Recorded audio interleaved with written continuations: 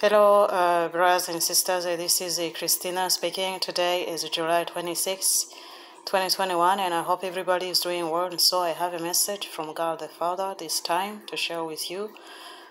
But before I go ahead, I want to confess with my mouth that I truly believe that our Lord Jesus Christ is the only begotten Son of God. He is God who has come in flesh on earth and died on the cross for us for the forgiveness of our sins. Hallelujah. Jesus Christ said, I am the way and the truth and the life. I am Alpha and Omega. I am the beginning and the end. I am the first and the last. Amen. Amen. And so, brothers and sisters, before I share this message, I want to remind you that this message from God is not to call you to stop doing what you are doing for God.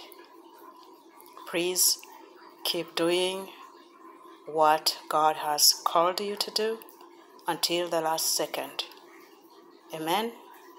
And so, uh, for those who uh, come here uh, hoping to hear what they want to hear, well, brothers and sisters, I am not here to uh, tell you what you want to hear. Understand that I am here to uh, to give you what God wants you to know, and so uh, yeah, so that's it. And so uh, on July 18, 2021, just a few uh, few days ago, during my prayer time, I received a message from God the Father. And why it's God the Father this time? Because uh, the message is about His timing, and God the Father is the only one who knows about the day and the hour of our Lord's return. And so, uh, during my prayer time, I heard a small voice saying this Behold, my timing has come. At that time, I stopped and I asked the Father if I was hearing correctly from Him. I said, Father, did I hear you correctly? And He said, Yes. And so, because as you know, we must always test spirits to see if they are from God. 1 John chapter 4 verse 1. At that time I asked God to give me a scripture to confirm if I heard from from him. At that time he gave me Zechariah chapter 4 verse 6 and uh, every time he gives me uh, this scripture it confirms that i'm hearing from god. And so um, i wanted to have more than one confirmation. Uh, and so i asked if he was going to give me a dream to confirm his word and he said yes. On July 19, I had a dream. Brothers and sisters, I'm going to share with you exactly uh, what God wants me to share with you. I will not go into uh, details because uh, uh this dream was long with uh, uh, lots of details, and so he only wants me to uh, share with you what you need to know. In this dream, uh, it seemed uh, it was uh, uh, a wedding scene because lots of things were happening. And uh, at the end of the dream, I was taken in another place. In this place, there were were three men, and these three men come to me. Uh, one of them had uh, a big cross in his hands, and I saw our Lord on the cross. This man gave me uh, the cross. At the same time, he said, Behold, my timing has come. Behold, my timing has come. And also, he said, The bride is now about to be revealed to the whole world. The dream ended. I also want to uh, say that these three men were dressed like a priest, brothers and sisters. And so uh, I went into prayer again, seeking God's discernment and another confirmation about this dream. And uh, at that time, God gave me uh, Zechariah chapter 4, verse 6 to confirm that uh, the dream was uh, from Him.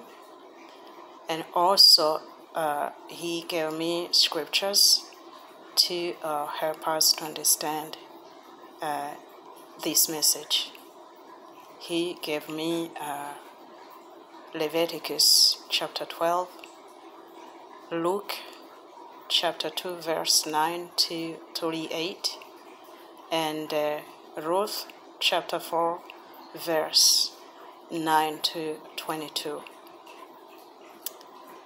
He also uh, gave me Matthew 26, verse uh, 39 to uh, 45, brothers and sisters, but pay attention to verse 41 and 45. When I read uh, Leviticus 12 and uh, uh, Luke chapter 2, verse uh, 9 to 38, I could see a similarity between these two scriptures but I couldn't quite understand the message. But when I read Ruth chapter 4, verse uh, 9 to uh, 22, uh, I understand much better the message because in this chapter uh, they're talking about the wedding uh, Boaz is making a public declaration of his marriage to uh, Ruth.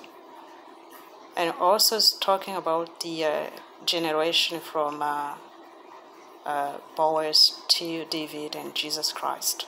And so, brothers and sisters, please read these scriptures because I believe all your uh, questions and answers are in these scriptures. In Matthew 26, uh, verse uh, 39 to 35, uh, 39 to 45, sorry. Uh, verse 41 says, Watch and pray so what so that you don't fall into temptation. The spirit is willing, but the flesh is weak. Uh, verse 45 says, Look, the hour has come. And so I invite all of you to read these scriptures and uh,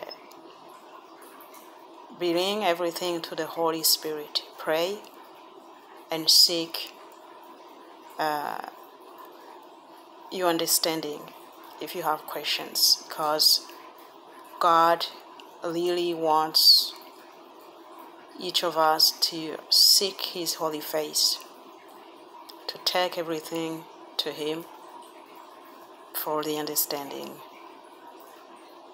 And that was His message. And so, um, brothers and sisters, I cannot uh, give you the exact day and the hour that things are going to happen. We're talking about the rapture and tribulation because I'm not God and only God the Father knows that day and the hour. But I can tell you that we are in the season.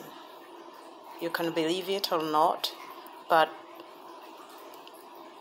only short time left. And so, uh, what God means by saying, Behold, my timing has come, I don't know if things are going to happen this year, next year, in two years. I cannot tell you that. All I can tell you is watch, pray, and get ready every day. Keep your house in order. Stop sinning because sinners will not enter the kingdom of God. If you are sinning against God, you must abandon your ways, your doings, and turn to God before it's too late. And so, um, regarding God's timing, all we can do is to wait on His timing because in Psalm 90, thousands, thousand days are like one day. And so you understand this is God's language. Uh, if you are seek God with all your heart, uh, God will give you the understanding of this message. But understand that His timing has come. We do not have much time left. Please share this video with our brothers and sisters. Watch and pray and stay ready every day. God bless you.